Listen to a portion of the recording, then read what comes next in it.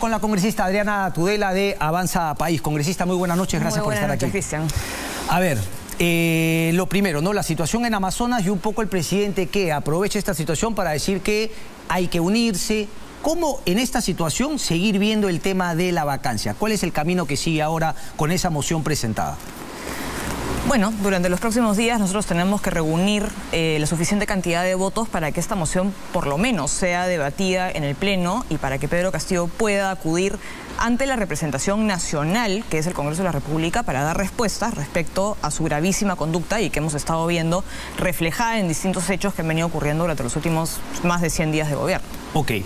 Tú tienes claro, es decir, la necesidad de llegar hasta la última votación para ver si se alcanzan los 87 votos y te lo pregunto por qué. Porque he conversado con algunas otras personas y dicen que, claro, el principal interés es que el presidente Castillo vaya y finalmente rinda cuentas ante el Congreso de la República, como tú bien dices, ante la representación, pero que incluso barajaría la posibilidad de no ir a esa votación de 87. ¿Cómo ves tú ese tema? Porque sería una manera de exigirle cuentas al presidente utilizando la figura de la vacancia. Sí, yo no creo que esa sea, digamos, una apreciación correcta. Nosotros estamos respaldando la moción de vacancia porque consideramos que el presidente ha incurrido en una causal de incapacidad moral y creemos que como mínimo debería acudir al Congreso a dar respuestas. Pero nosotros no estamos utilizándola como un medio para sino que estamos realmente convencidos de que se ha incurrido en una incapacidad moral.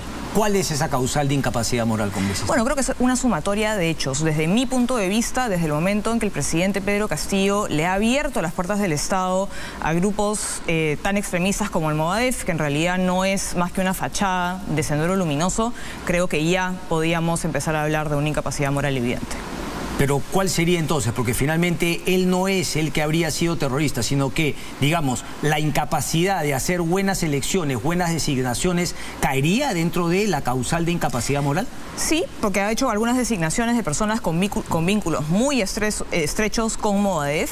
Y no solo eso, sino que viene realizando una serie de designaciones cuestionables que no son casos aislados, sino que se vienen dando de manera sistemática. Entonces, yo creería que el primer hecho, desde mi punto de vista, que, que me dio a mi pie para hablar de una evidente incapacidad moral es que le haya abierto las puertas del Estado a personas con vínculos muy estrechos a Movadef, pero creo que se han venido dando otros hechos a lo largo de estos 100 días de gobierno que me han a mí por lo menos, convencido aún más de esta incapacidad, ¿no? Porque desde un principio tal vez se pudo haber percibido como un poco exagerado hablar de incapacidad moral, pero creo que los hechos nos están dando la razón.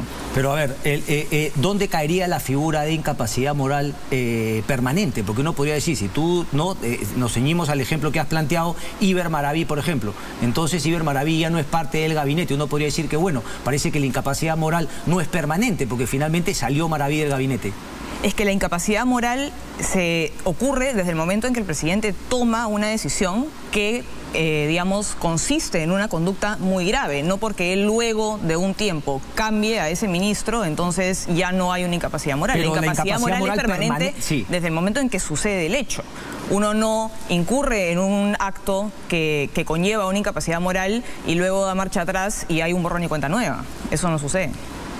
Pero, eh, o sea, somos conscientes de lo que esto podría abrir, porque, por ejemplo, no sé, no, no, no me es difícil pensar si es que Keiko Fujimori estaría en el gobierno y es que hubiese nombrado a una persona vinculada a un delito anterior que esté en su partido y que finalmente puedan plantear lo mismo. Es decir, las puertas que se abren podrían ser peligrosas para el futuro. Entonces, yo te preguntaba por eso, bueno, la permanencia, no, no me queda muy clara la designación de Movadef Cristian, creo que tenemos que empezar a ver los hechos que estamos todos observando eh, con la magnitud que merecen, ¿no? No, no estamos hablando de, simples, eh, digamos, pequeños actos de corrupción, aunque está el caso del señor Pacheco, ¿no? Sino actos muy graves. Por ejemplo, el señor Gallardo, eh, que está haciendo ciertas designaciones dentro del Ministerio de Educación de personas que tienen vínculos con el Movadef, y eso en el fondo implica entregarle al Movadef la educación de nuestros niños. El, el hecho de que se haya nombrado al señor Maraví también es, una, es un acto gravísimo. Entonces, no son simple,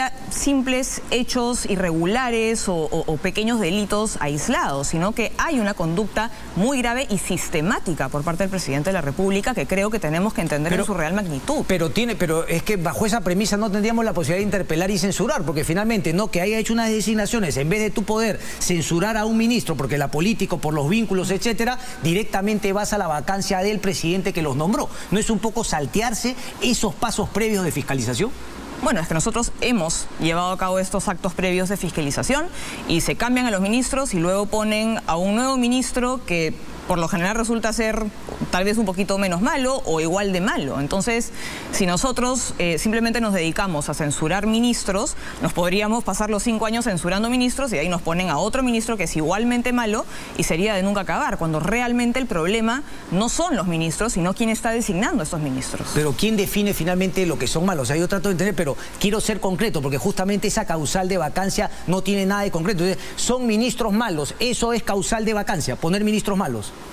Yo creo que el hecho de haber nombrado a ministros como Iber Maraví, como el señor Gallardo, como el señor Silva, y que esto ocurra de manera sistemática, sí nos lleva a mirar al presidente, a la conducta del presidente y a poder hablar de una incapacidad Ok, me, me, queda clara su postura congresista. Ahora, la pregunta es, ¿no? Si es que finalmente se hace pensando en la ciudadanía y pensando en el país, ¿qué viene después de que se lograsen, en el hipotético caso de que se lograsen esos 87 votos y se va a Pedro Castillo? ¿Qué viene después? Bueno, lo que manda la Constitución. Lo que viene después es que el presidente vacado es sucedido por el vicepresidente de la República. Por Dina Boluarte. Así es. Y digamos, ¿qué asegura que Dina Boluarte no vaya finalmente a hacer el mismo problema? Si eso lo hace, se le vuelve a declarar incapaz, incapacidad moral a ella también. Bueno, es que yo no puedo adelantarme a los hechos.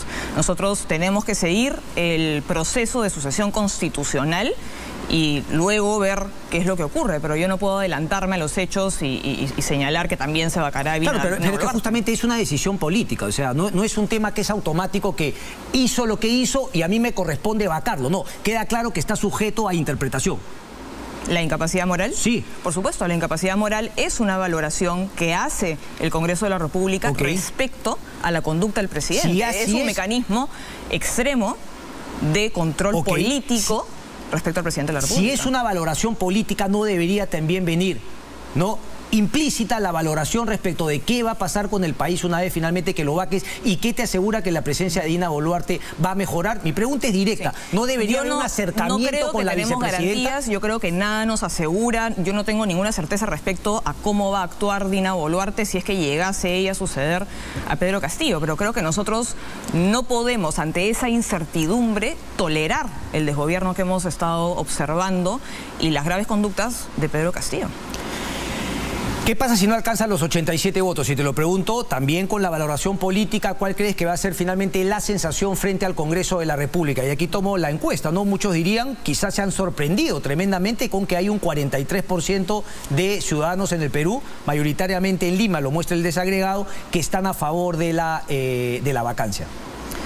Bueno, yo Confío en que vamos a lograr los 52 votos para que por lo menos el presidente acuda a la representación nacional a dar explicaciones, pero si eso no es así o si no llegamos a los 87 votos, eso no quiere decir que el Congreso de la República vaya a abandonar su rol de contrapeso frente a este gobierno y su rol de control y de fiscalizador. Pero yo te pregunto entonces, si es que finalmente no se da la vacancia, igual van a continuar con una posible, como tendría que ser, censura al ministro Gallardo, al ministro Silva en Transportes y Comunicaciones, etcétera? Sí, por supuesto. El Congreso de la República tiene que hacer uso de los mecanismos que la Constitución nos da para hacer un contrapeso frente al Ejecutivo, para fiscalizar y para hacer control político. Tú, entonces, dentro de lo que ha sido el planteamiento de la moción, hay una columna muy interesante de Federico Salazar, que él no ha encontrado una causal. A ti sí te queda claro que hay varias causales, una de ellas la que tú me has mencionado el nombramiento de, por ejemplo, personas a Movadef. ¿Discrepas plenamente? ¿Leíste ese artículo? No, no he leído el artículo de Federico Salazar. Ok, pero ¿tú crees que todas esas causales son para ti o me has mencionado una que es la principal o es la única en la cual incurre la incapacidad eh, moral permanente del presidente? Bueno, yo creo que esa fue la primera y la que para mí eh, me hizo, digamos, estar convencida en que efectivamente se incurría en una causal incapacidad moral, pero creo que luego han venido estos nombramientos bastante cuestionables que se han venido haciendo de manera sistemática, que creo que suman eh, a esa, a esa apreciación. ¿Por qué 55% eh, por ciento todavía de gente que desaprueba? Y si es que eso también no debería ser una valoración política de, como tú dices, la representación nacional, porque finalmente los congresistas representan a su ciudadanía y parece que hay una ciudadanía que no mayoritariamente está a favor de la vacancia. Bueno, de acuerdo a las encuestas que hemos estado viendo eh, este fin de semana, por lo menos 6 de cada 10 peruanos estaría de acuerdo con que por lo menos la moción de vacancia sea debatida en el Pleno. Entonces yo creo que, finalmente cada congresista eh, tiene que, responder a su electorado y creo que es muy importante también eh, señalar que es más, más que los políticos que efectivamente nosotros cumplimos un rol y los congresistas cumplimos un rol de, de fiscalización dentro del Congreso, creo que la ciudadanía tiene que exigirle a sus representantes que ejerzan control político, que sean un contrapeso frente a este desgobierno y que finalmente los representen. Correcto, pero puede haber control político exigido por los representados a través de sus representantes que no necesariamente conlleve a la vacancia. También es una posibilidad. Por supuesto, porque estamos en una democracia y no todos tenemos que pensar igual. Ok, no hay el temor de que ya que no hay una mayoría ¿no? que aprueba la vacancia, pues finalmente la ciudadanía, porque desgraciadamente así se ha vuelto un poco la situación en nuestro país, será la calle la que proteste. ¿Es algo que debe tener en cuenta el Congreso? ¿Es algo que usted tiene en cuenta, congresista? Ver si es que se da la vacancia, va a haber una aprobación en la ciudadanía o finalmente va a haber un descontrol, manifestaciones, marchas como las que hubo con la vacancia de Vizcarra el año pasado? Bueno, por supuesto, la, opinión de la ciudadanía es algo que definitivamente tenemos que tomar en cuenta porque finalmente nuestro rol es de representación.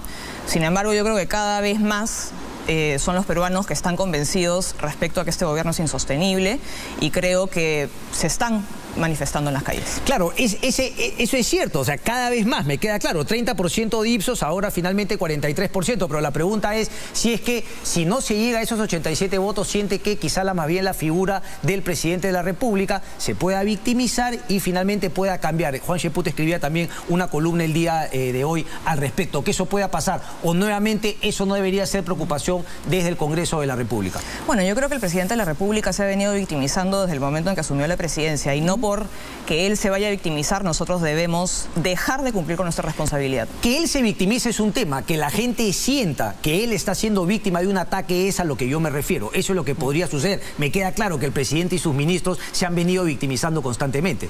Sí, efectivamente, pero creo que las decisiones que ha venido tomando el presidente de la República, eh, que finalmente están llevando a estos altísimos índices de desaprobación, eh, son muestra de que las personas eh, se dan cuenta de lo que está sucediendo y que probablemente esa victimización quede, digamos, en palabras vacías.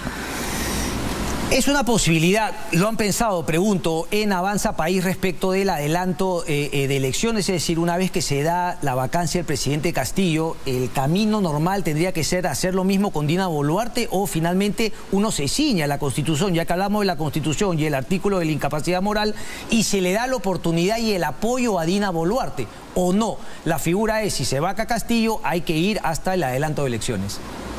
Yo creo que debemos respetar los procesos de sucesión constitucionales, eh, pero sí ha ocurrido eh, en otras ocasiones que el Congreso ha incluido eh, una disposición transitoria dentro de la Constitución para adelantar elecciones generales. Eso es una posibilidad definitivamente. Ok, pero dices que había que respetar ese, digamos, ese tema de la, de la... Sucesión constitucional. Con Dina Boluarte. Así es. ¿Qué es lo que viene finalmente? ¿Es el día jueves? ¿Se va a votar en el Pleno? ¿Tienen los 52 votos? ¿Lo han conversado ya con otras bancadas? ¿Cómo va esa, esas matemáticas? Bueno, esta semana que viene es semana de representación, así que no vamos a tener Pleno y es la semana, la subsiguiente. Ok. Es la subsiguiente. ¿Hay ampliación de legislatura para ver el tema de las facultades legislativas y también este tema de la vacancia? Eso, ese tienes ese dato, justamente lo comentaba Mónica. Entiendo que era algo que se estaba conversando, pero no estoy segura si es que ya se tomó la decisión. Correcto, entonces esta semana no... En principio entiendo que, la, legislatura terminaba en la semana del 16. Correcto. Congresista Tudela, muchas gracias. Muchas gracias, Cristian.